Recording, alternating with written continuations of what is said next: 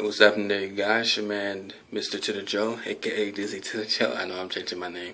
Um, I, I, wanted to make a quick video about this. Uh, something that's been going going around in the Christian community that's saying that uh, September 23rd is the day of the rapture. Even though I'm not, for me, I'm not very much sure about that. I'm not.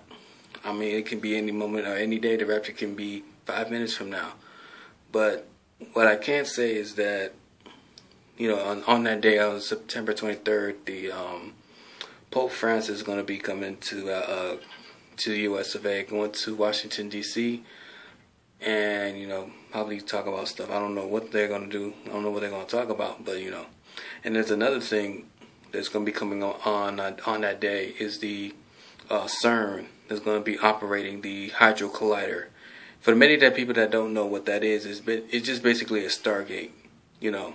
And if you don't know what a Stargate is, then I'm old as hell.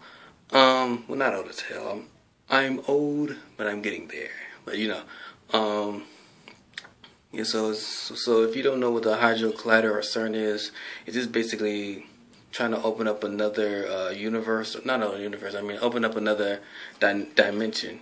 And I've heard sometime that they they have been seeing things that are coming out of the portal. Uh, you know, I don't know. They say they're just going to operate it on September 23rd, the same day as when Pope Francis get here to the U.S. of A. Hmm. Interesting. Now that I'm thinking about it. But you know, leave your comments and tell me what you guys think. All right. See you guys soon.